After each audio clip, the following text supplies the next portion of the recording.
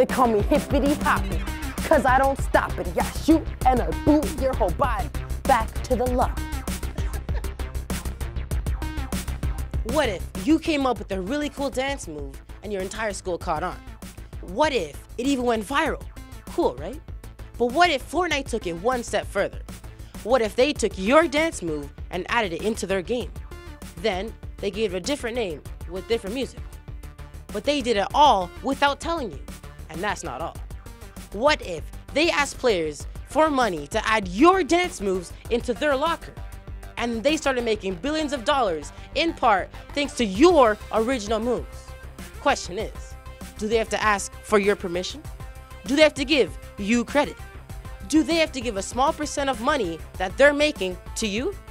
This is what some artists are asking themselves. Milly Rock is my craft, my everything. You know what I'm saying? It's my signature move. It is me.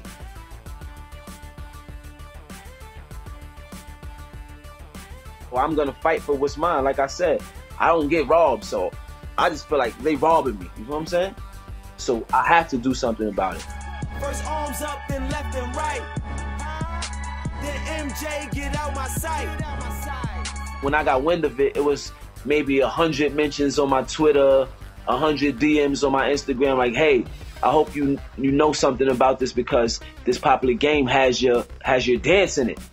So I'm like, I don't, I don't, I don't even know what Fortnite is. So let me look into it. I've been looking into it, and I see that in season five they actually, they actually have the character doing the same. Know what I'm saying? So I'm like, whoa, this is crazy. I'm like, yo, they didn't reach out. They didn't reach out for with anything.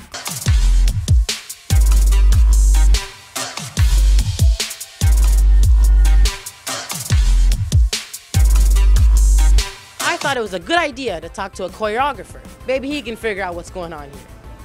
Imagine you're an artist and you paint something and it's personal to you and you know somebody else out there paints, you know, looks at your picture and paints the exact same thing and calls it theirs or changes the name, you know, which is what they did. They pretty much took the move and just changed the name of it. Do you know any Fortnite moves that done that same thing that you just said? Um, yeah, there's the Milly Rock, Yes. which they I think they call it the swipe.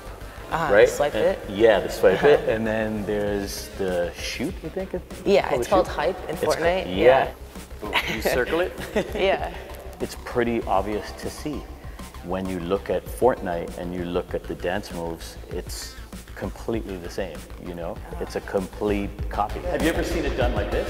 You could go like slow, quick, quick. Oh yeah, I You saw know? something like that. It's like Yeah, yeah, let's try it together.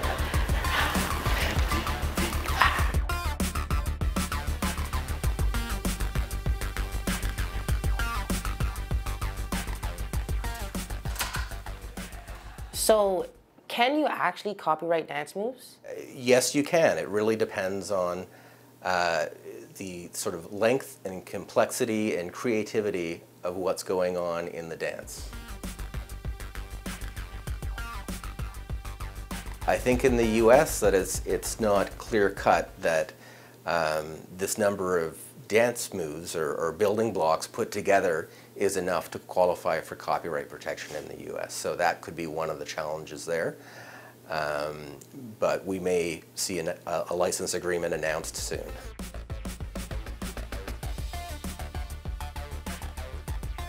So, what are your thoughts? Does Fortnite have an unexpected battle coming up? Do you think artists should just chill since Fortnite is creating a buzz for them and their dance moves?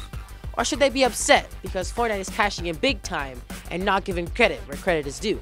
Email us your thoughts at cbckidsnews at cbc.ca. For CBC Kids News, I'm hippity hoppy. I'm Elijah Sandiford for CBC Kids News. Peace.